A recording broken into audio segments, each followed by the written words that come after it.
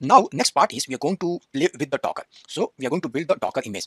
To build the Docker image, we are going to run this command. And what is this command? Let me explain it. So here we are running Docker is CLI, right? Passing the command build. Then minus T is, so this is tag. We are tagging the image what we are going to build with the name my node app. Okay. And then to build the image, it needs the Docker file, right? So here we are saying get the Docker file from the current directory. What does it mean? It means we should be running this command from our application directory. Let me show you. If you go here, here, here we have the Docker file, right? So it's expecting run this command from here. Let me show one thing. Let me close this, okay? And let's go one step back, okay? Clear the screen. And if you see here, we don't have Docker file, right? If I go and run this, it will give you the error. You know why?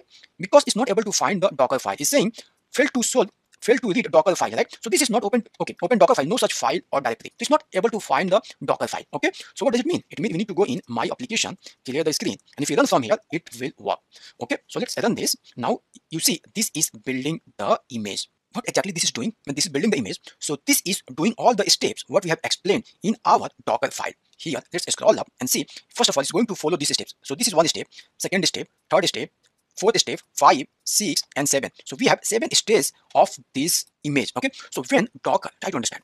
When Docker build a image, it's built in a layered way. Okay. So that's why if you scroll down here, you see, okay, it's one of five. Okay. So first step was getting the Docker base image, right? So one of five it was doing. So it's got the Docker image. Scroll down and you see second is setting up the working directory. So that was the second layer. Okay. Third layer was copying the package.json and fourth was running npm and fifth was copying. Okay. Then it's exporting the image, exported the image. Now our image is ready with name of my node app. Okay. So this is layered image. So when this build the image, it has each and every layer. Now in case if XYZ edition, if you don't want to build the layered image, then what you can do, you can pass this no cache means it will skip the layer caching. So when it's building the image, it's caching the all layer. So it will cache it. Okay, this is advanced section. Don't worry, just for your information.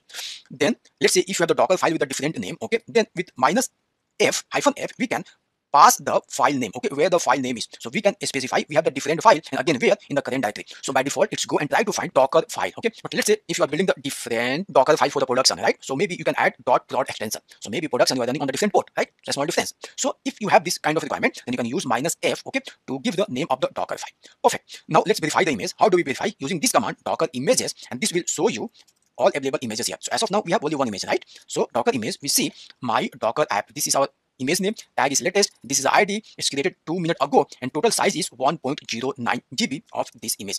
Size is very important. I will explain this maybe in the next section okay? Don't worry. But yeah this is very important when you are working as a devops engineer in the real time application.